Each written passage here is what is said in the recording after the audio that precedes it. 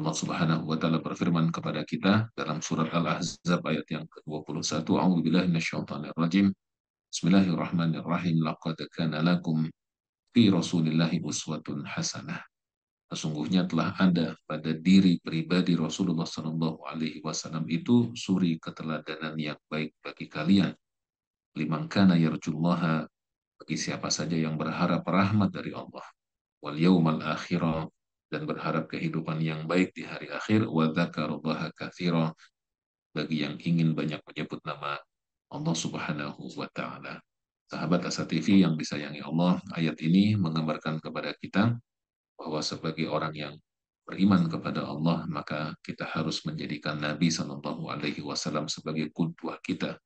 Ar-Rasulu Rasul sebagai kudwah kita, teladan kita dalam seluruh aspek kehidupan kita, Mengapa? Karena kita berharap dari Allah kehidupan yang baik di hari akhir. Dan kita juga menginginkan untuk sering menyebut nama Allah Subhanahu wa taala karena uh, orang yang mencinta terhadap sesuatu innal muhibba lima yuhibbu Allah. Sesungguhnya orang yang mencinta terhadap orang yang dicinta dia akan taat.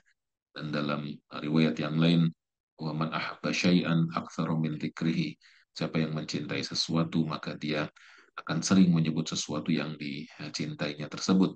Dan kita insya Allah cinta kepada Allah, dan kita juga cinta kepada Rasulullah Wasallam,